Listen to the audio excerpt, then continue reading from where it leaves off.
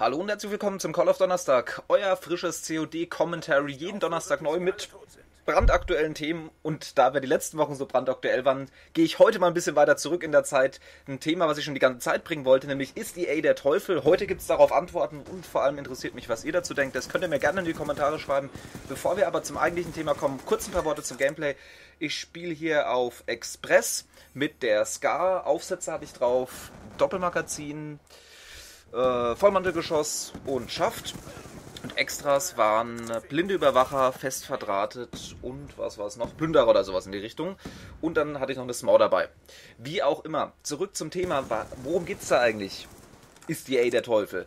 EA wurde vor ein paar Wochen wieder einmal zum schlechtesten Unternehmen in Amerika gewählt. Zum zweiten Mal übrigens in Folge haben sie sich diesen Titel abgeholt. Und wirklich, also ich habe das mit einem gewissen Schmunzeln hingenommen, das Ganze. Und äh, was mich dann eigentlich ein bisschen erbost hat, war dann wiederum die Aussage von COO Peter Moore von EA, der hier einen offenen Brief verfasst hat. Und den lese ich euch jetzt mal vor, nicht den kompletten Brief, aber einfach mal ein paar Auszüge daraus. Das Ganze ist auf Englisch. Ich werde es danach kurz euch ins Deutsche transportieren, wer äh, das Ganze nicht versteht. We are the worst company in America. Worse than Halliburton, Halliburton whatever. Worse than ExxonMobil, since as everyone knows, releasing a bad SimCity game with IV support is far more horrible when poisoning entire communities, groundwater, or spilling 300,000 gallons of crude oil in the middle of Arkansas. So, was uns der liebe Peter Moore damit sagen will, ist, hey, natürlich, wir haben ein schlechtes Spiel entwickelt, in dem Fall SimCity, und das ist natürlich viel schlimmer, meint er natürlich sarkastisch, als irgendwie ja, die Umwelt mit Ölkatastrophen zu verpesten und sonst was. Da muss ich sagen, lieber Peter Moore, was ist denn das bitte für ein Totschlagargument? Willst du uns jetzt andere Unternehmen aufzählen, die nur noch viel schlimmer als EA sind? Es ist nun mal so, dass beispielsweise Robben schlechter mag niemand. Und ich glaube, jeder würde seine Unterschrift runtersetzen, wenn man sagen würde, hey, das sind Arschlöcher, lasst uns die zum Kackunternehmen wählen. Aber EA hat eine viel größere Reichweite. Ihr habt Millionen Kunden weltweit und auch in Amerika. Und die Anti-Robbenschlechter-Lobby beispielsweise oder die Anti- Ölverseuchungslobby, wie auch immer, oder Aktivisten, die sind halt nicht so vielzählig. Und wenn das eine Internetabstimmung ist, der, wo jeder daran teilnehmen kann in Amerika, dann ist es ja wohl klar, dass die Leute das wählen, was sie am direktesten betrifft. Da ich jetzt täglich nicht so viel mit geschlachteten Robbenbabys zu tun habe, ist es ja wohl naheliegend, dass, wenn ihr ein scheiß Spiel rausbringt, ein scheiß Support und dann noch so Sachen sagt wie Deal with it, dass es die ersten zwei Wochen nicht funktioniert, das Spiel, wie beispielsweise SimCity, dass man dann erböst ist und erbost ist und dann natürlich zu Recht dieses Unternehmen wählt. Also es ist nicht damit abgetan, hier einfach zu sagen, hey, das ist schlechter und dieses schlechter.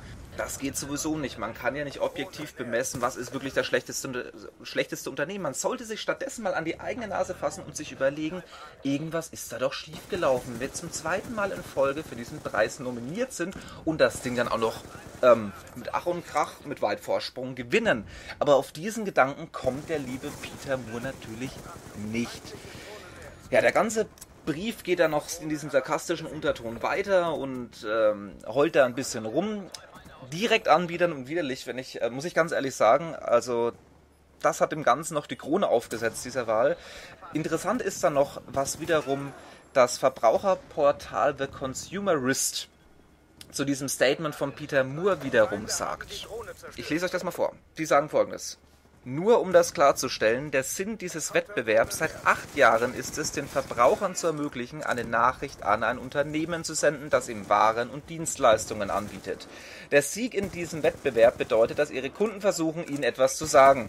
Und zwar, dass sie als Unternehmen die Trophäe in Form eines Codehaufens am meisten verdienen.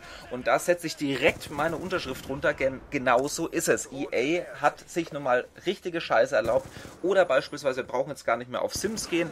Schauen wir uns Space 3 an, da zahlt mal 60 Euro, kriegt ein Spiel und kriegt dann einen Arsch voll an DLCs. Habt ihr am ersten Tag mal in den PSN Store oder auf dem Marktplatz bei Xbox Live geschaut, was ist, wie wir zugeschissen worden sind mit Download-Content, der eigentlich so ins Spiel hätte reingehört. Ich könnte mich jetzt noch ewig aufregen. Das Gameplay nähert sich jetzt auch dem Ende. Eure Meinung zu EA würde mich mal interessieren. Sie bringen natürlich auch noch gute Spiele raus und publishen gute Spiele, aber in letzter Zeit machen sie wirklich fast nur schlechte, ähm, Neuigkeiten und haben damit diesen Preis vollkommen zu Recht, meiner Meinung nach, verdient.